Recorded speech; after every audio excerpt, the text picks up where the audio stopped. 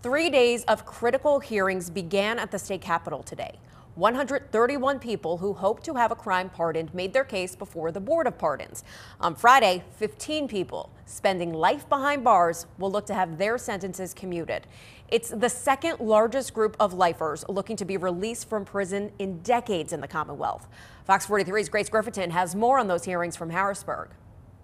Some people ask why give somebody convicted of second degree murder a second chance. This morning, Lieutenant Governor John Fetterman gave us his input and why he believes some prisoners are worthy of redemption. You would be surprised uh, how many times there's this gross mismatch. Lieutenant Governor John Fetterman is talking about when somebody is charged with second degree felony murder and sentenced to life behind bars. For example, take Charles Haas. The lieutenant governor says the 70 year old man has served 40 years from his role in a deadly robbery in 1978. Fetterman says Haas's brother stabbed the victim and a female accomplice shot him.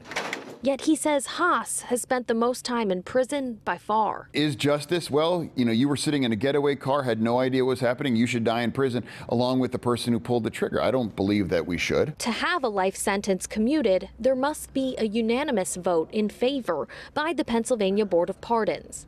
Five people make up the board, including the lieutenant governor. We interview these inmates. We examine their prison records. We allow and encourage victims to testify.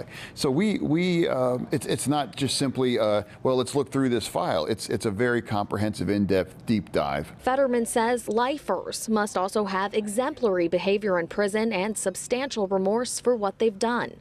Of the 15 making their case before the board, three are from our area, including 59 year old Edward Printup with 38 years in prison and 61 year old Jose Nieves with 42 years served. Some of them, um, the longest serving one that we've commuted is 52 years. And that is an astonishing figure for me personally, as, as somebody who turned 50 years old this past summer. Fetterman also points to the price of imprisoning elderly lifers. He says it can cost more than $70,000 a year to keep them in prison people on the opposite side of the spectrum are like, well, what happens if one of them gets out and does something horribly it would be, wrong? It would, first and foremost, it would be uh, catastrophic and, and be personally devastating if if somebody hurt somebody. Uh, that, that, that there's always that possibility theoretically. Thousands of people are paroled, so the vast majority of inmates actually cycle through and they they reemerge. So this idea that this is only unique to the commutations process is it's just simply not true. When it comes to pardons and commuting life sentences, ultimately the governor has the final say. Governor Tom Wolf has commuted the most life sentences since Governor Bob Casey left office in 95. In Harrisburg, Grace Griffaton, Fox 43 News.